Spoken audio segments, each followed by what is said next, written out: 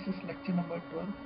In this lecture we are going to discuss voltage shunt configuration which is again the closed loop configuration but it is identified also as inverting amplifier well we are going to see that output voltage is 180 out of phase with input.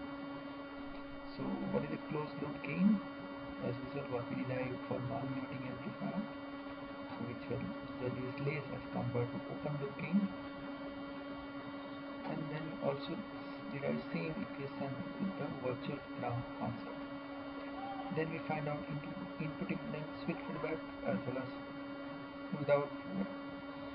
So what the result for voltage shunt configuration that we are going to see. Also at the same time output impedance of the voltage shunt configuration. So it's also without feedback as well as with feedback. Then in real time how we can use this circuit as a particular application current voltage that applications is available and more on the examples related to voltage and configurations. And then we'll start with the third topology if input is present at inverting and non-inverting terminal that we also say differential amplifier which is the combination of voltage series plus voltage shunt. So this is possible with the three different configurations.